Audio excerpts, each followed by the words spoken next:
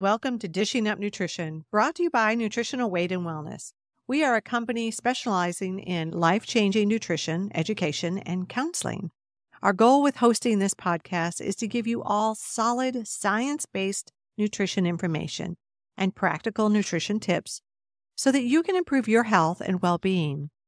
And if you've been listening to us for a while, you might already know that balancing your blood sugar levels and getting your fasting blood sugar in the normal healthy range is one of the most important things that you can do for your future health. We all like to do a deep dive into research, but it does not take a researcher or a scientist to find information that backs up the seriousness of high blood sugar levels. In fact, all of you on this February morning could go into Google right now and just type in health risk of prediabetes. When I did that in preparation for today's show, I had 14 million sources come up. Did you read them all? I did not. I was just, I wasn't surprised though. So clearly, this is a real issue in our country, in our world. We'll introduce ourselves and then we'll get into our topic for today. I'm Kara Carper. I'm a licensed nutritionist and certified nutrition specialist. As dietitians and nutritionists, even with 14 million sources coming up on the negative health consequences that can come about from prediabetes, we really focus on the peer reviewed scientific literature when we prepare for our shows. I found the following on PubMed from the journal Clinical Diabetes. Recent studies have demonstrated that patients with prediabetes can suffer from coronary artery disease and diastolic heart failure even before progressing to overt diabetes. Wow. Something to think about Mhm. as those blood sugar levels rise. I'm Melanie Beasley, a registered and licensed dietitian. I agree that it's important to sort through the information online and stick with credible and reputable research, such as the journal you mentioned, Clinical Diabetes. The article you just mentioned was published in 2020, and the title was Prediabetes Deserves More Attention. And we couldn't agree more. Yeah, that title really says it all. Let's unpack that journal article for a moment, Mel. Recent studies, so we're talking in the past several years, so very recent, show that people who have prediabetes can have heart disease and heart failure even before prediabetes progresses into type 2 diabetes. Yep. So, have you recently been to the doctor and been told that your fasting blood sugar numbers started creeping up a bit too high? Or did your doctor or nurse say that your blood sugar numbers were in the prediabetes range? According to the study in the Journal of American Medical Association, more than half of the U.S. adult population has diabetes or prediabetes. This is tremendous Wow. compared to, gosh, 30 years ago. It was rare. More than half of the US adult population has diabetes or prediabetes. And I just want to throw in that a lot of people have no idea that they're walking around with these higher blood sugar levels. Those are folks that have been diagnosed with prediabetes or diabetes. Mhm. So it's even higher than that. If diabetes is either undiagnosed or ignored, over time complications can happen, such as stroke, heart disease, even Alzheimer's, certainly kidney disease, nerve damage, problems with feet or legs, problems with the eyes, even loss of vision. But according to the article from 2020, just having elevated blood sugar levels just stand alone can lead to heart disease. So I think prediabetes, it really needs to be a wake up call to folks. It's not something to wait on, not something to think about in the future. It needs to be addressed as soon as someone right knows. now. I think they I, have- I believe it was Dr. Mark Hyman say the biggest risk factor was elevated blood sugar for disease. And so when we say prediabetes, we are talking if your levels are over 100 to 125, you're pre-diabetic. We like to see blood sugar levels under 90 or lower, fasting blood sugar levels. I don't even like to see my clients creeping up in the 98. I'd like to get Yeah. it down lower. So today's topic is a really important one because the rates of prediabetes and diabetes just keep going up every year, like you mentioned. And although there's a small genetic component to having higher blood sugar levels, It's almost all under our control. That's the good news. And did you know that prediabetes can be reversed? Mm-hmm. So can type 2. So, with a careful eating plan that focuses on eating real food, adjusting those macronutrients, which we're going to talk about, mm-hmm. these changes can sometimes happen very quickly. You can turn it around yeah. in three months. Absolutely. Some diseases and some conditions do take a little bit longer, mm-hmm. but with blood sugar levels, if someone is eating, like you said, carefully, and we'll talk more about what a careful real food diet looks like, they can turn that around in, you know, six weeks, two months, three months, very short time. How does eating real food that you buy at the grocery store and prepare in your own kitchen help to reverse prediabetes? Well, the main reason that over half of Americans have prediabetes or diabetes, it's just due to eating too many processed carbohydrates, too many sugars. And sugary beverages are part of this as well. Yep. Yeah, those sugary beverages are the, a huge factor in this. So these processed carbohydrates and sugars, that's what you're finding in foods that are sold in boxes, bags, cans, they're prepackaged from the frozen section at the store, you know, the ready meals. So, my challenge to listeners today is to take a day, one day, read every label of every package you're going to eat for the ingredient sugar or maltodextrin or something that ends in OSE, which is a, a sugar derivative. See how you're doing. Mm-hmm. How much sugar are you actually eating? Yeah. And just pick one day. I think that's a great challenge. I mean, everyone should be reading labels. Let's give some examples of those carbohydrates that tend to be the biggest culprits that create high blood sugars bread, chips, pasta, muffins, bagels, crackers, pizza, french fries, and of course, the more obvious culprits like the sugary treats and sweets and drinks and things like cookies, candy, cake, sweetened coffee drinks. Yeah. I won't list all of them, but you get the idea. we'll be here all day. Um, yeah. And so those are the overt. Like you can obviously tell they're sweet. We know they convert to sugar. Chips and bread convert rapidly to sugar, whether they have sugar in them or not. Mm-hmm. So it's not the occasional treat or dessert that we're talking about. You maybe you have, you know, a piece of cake at your birthday. No one burst into flames. That's not what we're talking about. We're talking about that chronic high blood sugar numbers that come from eating high sugary foods or carbohydrate foods. It's the daily and weekly habits that build up over time. So if you're frequently going to a coffee shop and get one of those sugary drinks or even a cookie, muffin, scone, that's the habit that could lead to chronic high blood sugar levels. Or maybe you just don't have time to prepare and eat breakfast in the morning. So instead of making a balanced breakfast, you grab something like a bowl of cold cereal with milk. And maybe for lunch, you're also in a hurry and you did not pack and prepare anything. So you swing by the local sandwich shop and maybe you get a sub sandwich, chips, and a soda. Believe it or not, a lunch like that adds up to at least 25 teaspoons of sugar.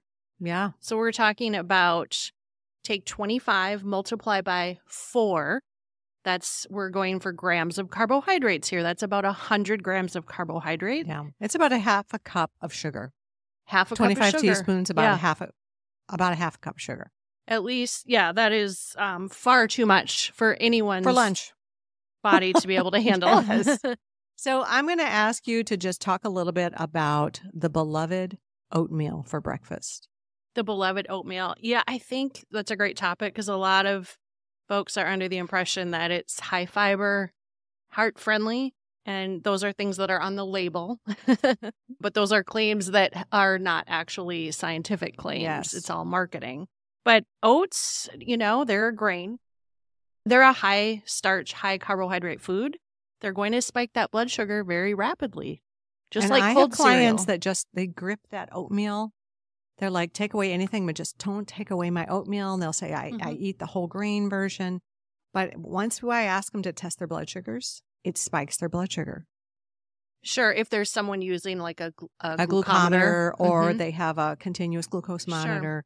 So let's give some context, Kara, because some listeners might not realize that 25 teaspoons of sugar is a lot.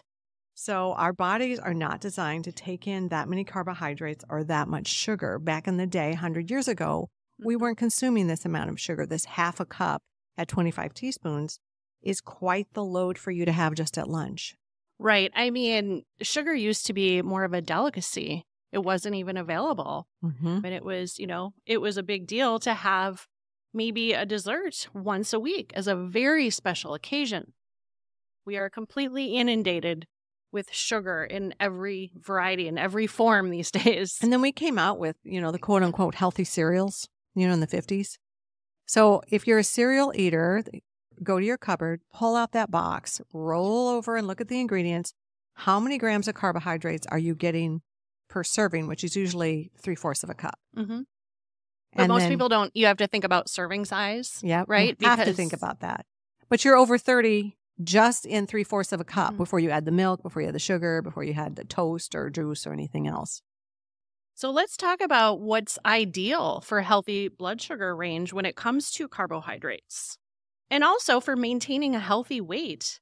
Most people should not be having more than 25, maybe 30 grams Mhm. of carbohydrates in, In a- total with a meal. Yeah. Yeah. So, what does that look like coming from? Let's switch over to real food. We've Real been food. talking about processed cereals and things. So we talked about the three fourths cup of cereal, but you can eat a lot of vegetables. You can eat three cups of broccoli and still hit about 25 grams of carbs. So the volume of food Mhm. that you're going to get in for that amount of carbohydrates when you're eating the real food, vegetable carbohydrates, so much more satisfying, but also so much more benefit for your overall health because of what comes along with those vegetables. Sure, you get the fiber, you get the plant, you know, chemicals, you get the antioxidants. bioflavonoids. You're getting a big boost of nutrition that's helping you all the way around. Yeah, that's a very nutrient dense way to get three cups of carbohydrates versus the three quarter cup of cold cereal, probably zero fiber, high sugar, Mm-hmm.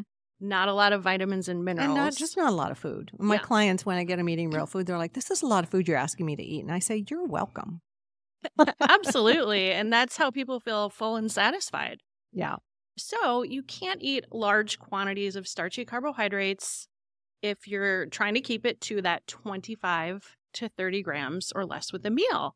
We've gone over that. That's about a half cup or maybe three quarters of a cup of something starchy. One piece of bread, there's about 20 grams of carbohydrates.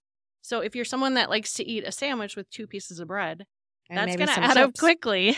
then you throw those chips in there. exactly. Or a piece of fruit. You have a sandwich with two pieces of bread, a piece of fruit, some chips. We're probably back up to 100 grams of carbohydrates. Divide by four. There's your 25 teaspoons of sugar, or like you said, half of a cup. Yeah. So one cup of cooked pasta, whole grain or not, has over 40 grams of carbs, and one cup of cooked rice has 45 grams of carbohydrates. If you have prediabetes, even having one cup of rice or one cup of pasta or a sandwich, it's just too many starchy carbohydrates for your body to handle. But the good news is, is that you can eat unlimited vegetable carbohydrates like leafy greens, spinach, romaine, lettuce, the, the vegetables that grow above the earth, with the exception of legumes and corn, are your low carbohydrate vegetables. And on the flip side, you had mentioned you can eat, I think you said three cups of broccoli. Yes. Yep. So also maybe a large salad with two to three cups of greens. Throw on some of those, we call them the non starchy veggies tomatoes, mushrooms, peppers, maybe a little onion, cucumber, you name it. Put it on that salad, and that co- total carbohydrate content will still be very low. Maybe 20 grams for a huge salad. Yes. And the term I use with my clients is concentrated carb or um, low concentrated carb. Just That's a better way It's so to describe concentrated it. for that three fourths of a cup. Mhm.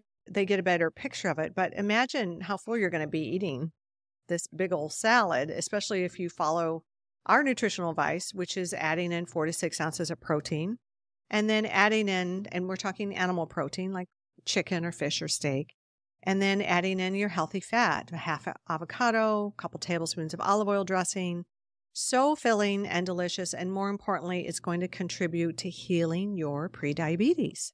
And if you're already struggling with high blood sugars or you have prediabetes, you're definitely not someone who can go over that 25 to 30 grams of carbohydrates with a meal because you have something called insulin resistance. And you might be wondering, what is insulin resistance? And why am I not able to burn through 40 grams of carbohydrates? And we have to go to a quick break, and then Melanie is going to give a great explanation of why when we come back. You're listening to Dishing Up Nutrition. Our topic today is reversing prediabetes with real food. If you have prediabetes or type 2 diabetes, it's best to minimize sweets, treats, and in general, sugar. But we know that can be challenging, and there are still ways that you can indulge and treat yourself without overdoing sugar. So when we come back, Melanie's going to share a little bit about an upcoming cooking class. Welcome back to Dishing Up Nutrition. I'm Melanie Beasley, licensed dietitian, here with Kara Carper, licensed nutritionist. And if you are someone who can't imagine completely giving up sugar and sweets, but you know it would improve your health and your waistline, well, we have a great class and resource for you. Our chef Marianne is facilitating a live Zoom class on February 7th. It's called Sweets That Satisfy. She'll demonstrate how to make sweets with real food and some will be gluten and dairy free. You can go to our website for more information and sign up at weightandwellness.com, or you can call 651 699 3438. We're also available for consultation if you need some help with prediabetes. That's what we're here for. So, someone who has healthy blood sugar levels, which are ideally 70 to 90 could get away with eating maybe 40 grams of carbohydrates with a meal once in a while.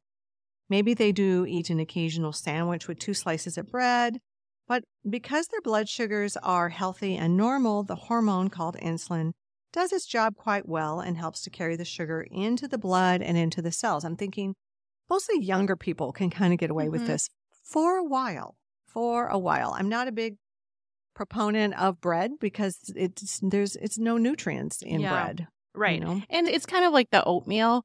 Mm-hmm. I think people assume that they're getting fiber and vitamins and minerals, but it's very, very difficult to find bread that actually has more than like a gram or two of fiber per slice. And the vitamins and the minerals that they're spraying on grains, they're the junkety junk. That's the clinical term, the junkety junk vitamins that our bodies really don't utilize very well. Mm-hmm and for some can actually cause problems. So I'm not a big fan of getting your vitamins through sprayed on cereal and sprayed on bread. Yeah, and certainly not for someone that is, you know, has those higher blood sugar levels. Exactly. So I think I thank you for that. I think that was a great example of what insulin resistance is.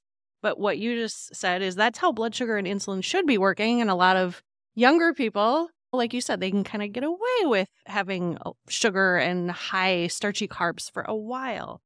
Because if it's doing its job, insulin will carry that excess blood sugar into the cells, and that's where we get yeah. our energy. But what if you are that person who frequently eats or drinks more than the 30 grams of carbohydrates or sugar with meals? Then what? Well, over time, your cells will become resistant to the insulin. The insulin that your pancreas produces, it's really just trying to do its job by carrying that excess blood sugar into the cells. But after a while, it can't get it in there. Well, I like I liken it to a fire hose effect. So when you're when you're consuming about 30 grams of carbohydrates at a meal, it's enough that insulin can pick up all that blood sugar, unlock the cell, and bring it into the cell. Hmm. When you're at 45, 50, 100 grams of carbohydrate, it's like a fire hose effect, and that insulin just can't pick it all up and get it in like it's supposed to. And now it begins to create inflammation, pain, and a pre diabetes situation in the mm-hmm. bloodstream when it's done over and over and over. And that's when those blood sugar levels start going up and up and up. And it's just, it's too much glucose circulating in the bloodstream that can't get into those cells. So, if you are starting to have higher blood sugar readings through your doctor visits, always ask, What are your numbers? Take a peek at them. Mm-hmm. It's information. And if it's creeping up every physical, That should be a warning sign. That's your body's flare gun. Yeah, it's really important information to know what your fasting glucose is. And if it does start creeping up toward 100, that's a red flag. And typically, lower is better, although we don't want glucose to get so low. For example, in the 50s and 60s, that could cause issues depending on the individual. But for health purposes, to prevent heart disease, to prevent Alzheimer's, and other brain related diseases, stroke and neuropathy, and like you had said, just overall inflammation in the body, you're best having your fasting glucose 70 to 90. And I'll just give a quick example. I recently got labs in December, mm-hmm. the end of the year, going for lab work. And my recent fasting glucose was 80. Now, that is in the safe range, but personally, I prefer to have mine under 80 because I know that the damage that high blood sugars can cause. And I also know that I've kind of been getting a little bit loose on my starchy carbohydrate intake. it's a slippery slope. Yep. And I, although I eat gluten free, maybe too many of those rice crackers, maybe a little bit too much. No, you're not eating those rice crackers. so I just feel best and most confident about my personal health and labs when my fasting glucose is in the 70s. Yes. Yeah. It's a slippery So- slope. I mean, if I, I can't buy those things because I don't, ha- once I have, you know, those crunchy gluten free crackers, who wants to go for real food? I mean, those are Right. delicious. So I Who just, wants the chopped up veggies with guacamole when you have the crackers, right? So just I, sh- I really just need to get rid of those. I know. Gone is gone, whether it's, uh, whether it's in My the daughter trash. won't be happy, but No. If it's in the trash or in your mouth, gone is gone. One causes problems, the other does not. Prediabetes is just not a free pass to continue on with your current eating and lifestyle habits.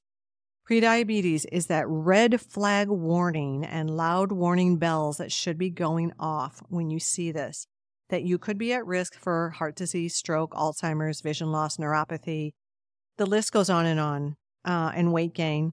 Also, I just want to mention if you have prediabetes and you have surgery, you're more likely to have infection because if you've got more blood glucose, sugar floating around in your bloodstream and it's going to that wound site, guess what? It puts you at risk Mm. for bacterial infection because they feed on that sugar. So you really want to get this under control Yeah. if you've got surgery coming up. lots of important reasons to get blood sugar under control. Yeah. Prediabetes just doesn't happen overnight. Insulin resistance occurs first, and that can take years, maybe even a decade or more, for that insulin resistance to lead to prediabetes. Well, the definition of prediabetes is when someone has higher than normal blood glucose levels, but not quite high enough to qualify as type 2 diabetes. Like we mentioned, if your fasting blood sugar is 100 to 125, that's considered prediabetes, and it can be very misleading for many people who receive that diagnosis. I can't tell you how many clients I've met who have said, My doctor told me I have prediabetes. We should keep an eye on it, but not worry about it so much. Hmm. I disagree because it's a common misconception that it's okay to have prediabetes as long as it doesn't progress into full blown blown type 2 diabetes. So the watch and wait Yeah. is not a good medically idea. never a good plan. No. In my opinion, that's negligent. I agree. Is the watch and wait. It should be addressed. it should be addressed. hmm That actually happened to a relative of mine. It happened to my aunt a couple of years ago. She used to text me or call me if she would get lab work that she was concerned about, and she said, "My doctor said it's getting up. It's it was over a hundred her fasting glucose, Mhm. and then she got it back into the high nineties. And her provider, her doctor said." Let's just kind of make sure it doesn't turn into type 2 diabetes. We'll keep an eye on it. That Mm. watch and wait approach. And I I totally disagreed and it just made me sad that she, that was the advice that she received and I did try to talk to her about food and things and it's a really sad story but she did end up passing of heart disease. Oh, golly. I have to think we know that high blood sugars are related to the heart. Of, Of course, we'll never know exactly what happened, but that inflammation makes me sad thinking about that. to those blood vessels. That's such Mhm. a sad story. And also, if it's affecting you in areas that you can't see, sometimes you you can whistle past the graveyard, right? You can forget what's happening in your body if you're not feeling it all the time when it's happening. It's when you actually have a crisis. Mhm. And that's the sad part of it. And I also wonder what type of education or counseling your aunt received from her doctor's Mhm. office. Back in the day, when I started as a young dietitian, when dinosaurs roamed the earth, if someone had diabetes or someone had a cholesterol problem, they were immediately sent to a dietitian. Yeah. And I don't find that to be the case Mhm. anymore. She was re yeah, I actually saw the packet of information and this was the pandemic was a little bit more in full swing at the time, so it was harder to get in to see providers. But she was referred to a dietitian. Unfortunately, I did see the the packet of information with the recommendations of what to eat. And it was kind of that old information, the old kind of standard boy. diabetic diet with the high carbohydrate, low fat, low dietary cholesterol, that Oh, real outdated information that just perpetuates the high glucose levels. You know, when we remove the healthy fat, we remove all the fat and we limit certain proteins and we focus on starchy grains. That's a recipe for disaster It really is. It when it really comes is. to prediabetes. So we should mention that a low fat, high carbohydrate diet makes people feel kind of crazy because they're so darn hungry all the time. And many times they end up binging on more sugar or carbs because that hunger is mm-hmm. driving them. And after a few hours after a meal, their blood sugar tanks and they're hungry again. So I love what you said is that we need that protein and fat.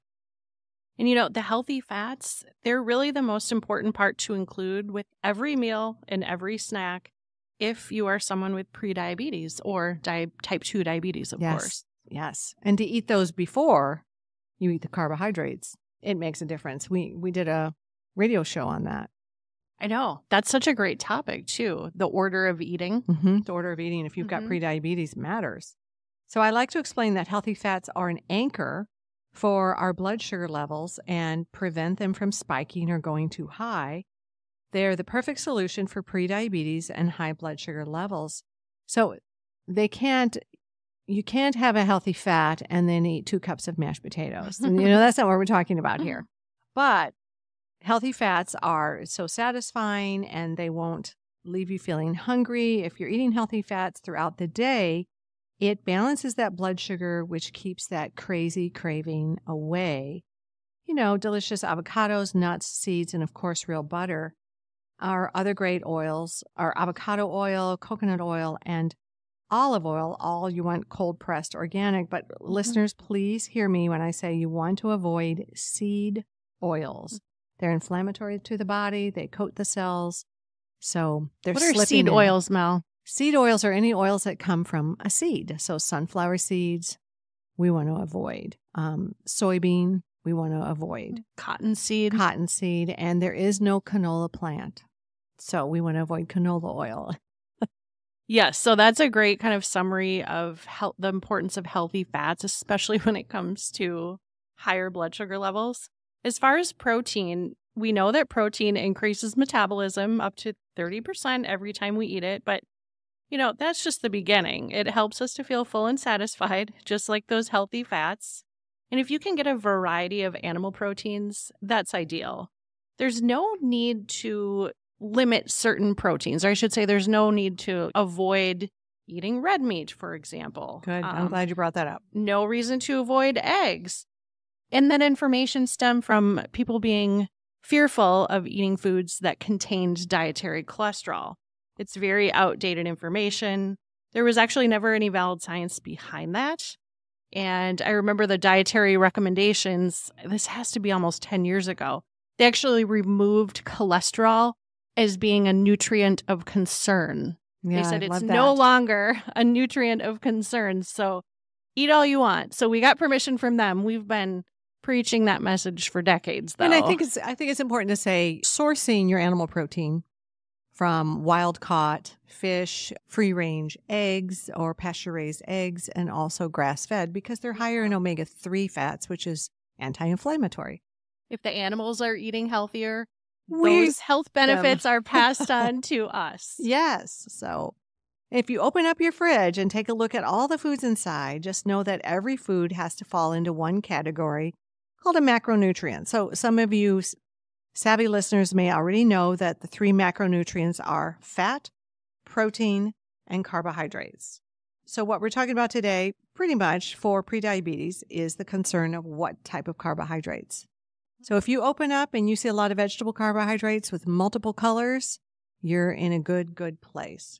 That protein and fat are anchoring your blood sugar, and the fiber in the vegetables keeps that blood sugar at a slow rise and then fall. So imagine that for those of you that enjoy avocados. I love me a good avocado.